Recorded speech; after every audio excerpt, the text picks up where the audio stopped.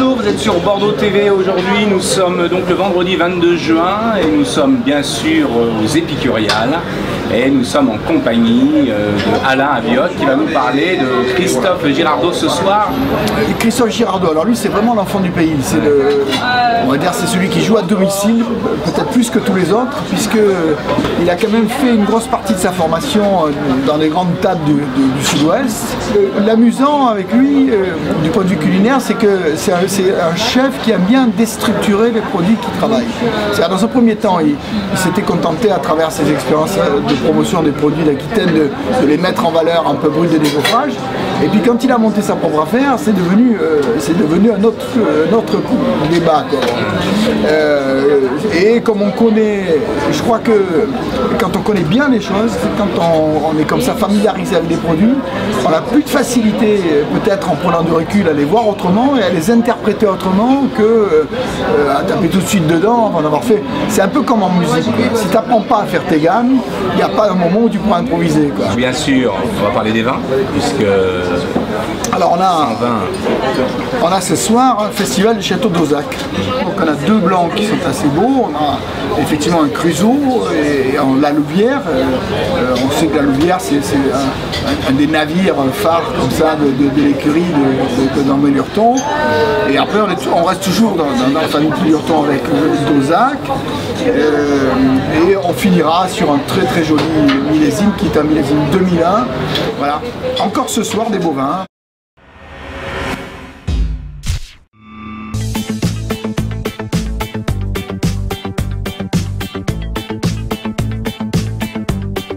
c'est avec Christophe euh, aujourd'hui Girardot que nous allons commencer cette soirée ici aux Étoiles d'Épicure et merci d'être présent avec nous et de nous donner toute cette sympathie.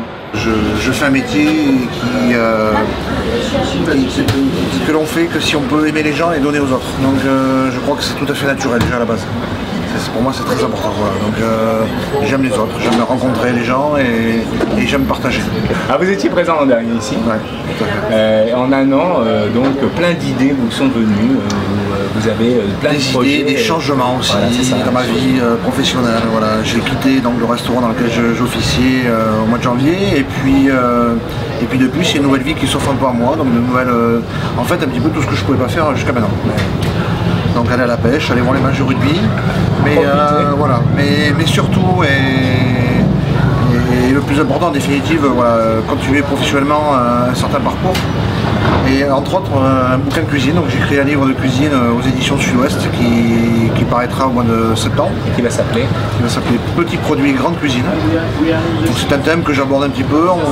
j'ai décidé d'aller chercher et de, montrer aux gens que bah, il y a tout intérêt à aller chercher des produits, repartir chez les producteurs, aller sur les marchés, essayer de trouver des produits euh, euh, simples comme la sardine, le macro, mais toujours de grande qualité. Et puis montrer qu'avec ces petits produits, on peut faire des grandes assiettes euh, voilà, qui, pourraient éventuellement se servir à la table d'un restaurant.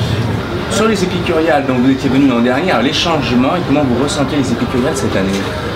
Alors les changements, bah, c'est assez frappant hein, déjà, puisque je vais parler de mon, côté un petit peu la cuisine. On, a, une très très belle cuisine, hein, très très bien équipée, climatisée, parce que c'est vrai qu'avec les chaleurs qu'il fait, c'est quand même un plus.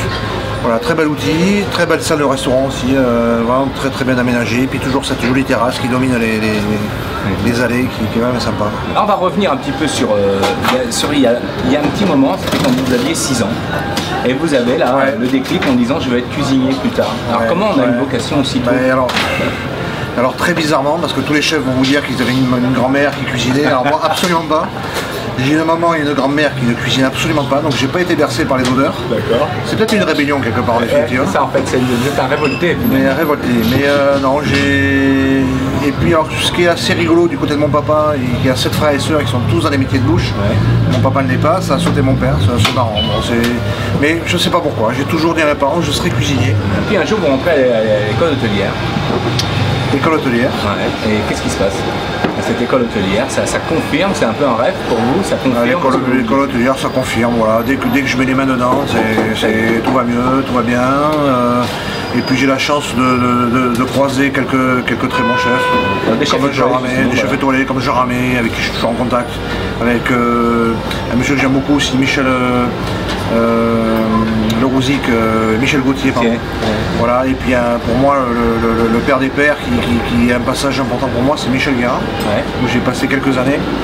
Ça a été aussi un moment pour moi révélateur, fort, voilà.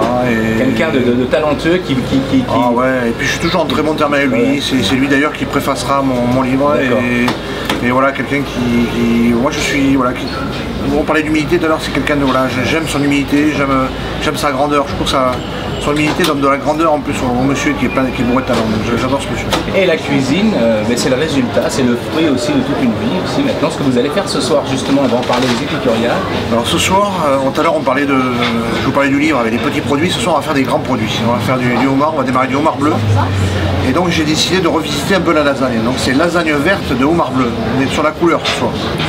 Lasagne verte parce que euh, des lasagnes colorées au vert de persil, un petit peu verte comme ça, intercalées avec de la tomate confite, avec une, petite farce très parfumée exotique, une farce créole j'appelle ça. Euh, voilà, donc on reproduit une lasagne froide et de homard qui, devrait être rafraîchissante et sympa et, très parfumée. Puis ensuite on va, on va continuer avec du pigeonneau pigeonneau que j'ai traité dans une, dans une tourte, dans une petite, euh, on va dire une petite quoi, une sorte de tourte avec euh, des stats un petit peu, donc pigeonneau, griotte, foie gras, cuit très rapidement comme ça aux, dernières minutes, tranché en deux, donc on aura une jolie découpe aussi, servi avec une purée de petits pois à la menthe fraîche. Et puis le dessert, alors ça c'est le dessert un peu fétiche, euh, c'est un peu un de mes desserts en signature si on peut dire, c'est les œufs imaginaires. Donc les gens ce soir vont se retrouver avec une boîte à œufs, une boîte de 6 œufs qu'on achète dans le commerce. Ah Déjà vous allez avoir un petit kit, une petite pochette comme ça avec une paille, une, petite mouillette et une petite cuillère. On va ouvrir la, on va ouvrir la boîte et dans chaque œuf, il y aura un dessert différent, une petite préparation différente. Donc il y aura un lait de poule. Les poules, c'est une préparation à base d'armagnac et de réduction de crème. Il y aura euh, un petit crumble euh, au fruit de la passion. Voilà. Tout un tas de petits desserts comme ça dans, chaque présentation. Toujours saveur et couleur, ça revient toujours. On a passé un bon voyage. En fait, c'est la des voyages, la gastronomie. Je, pense. Des voyages Je reste persuadé que c'est des voyages, bien sûr. Et quand je peux faire voyager mes clients, ben, j'en suis, euh, suis ravi.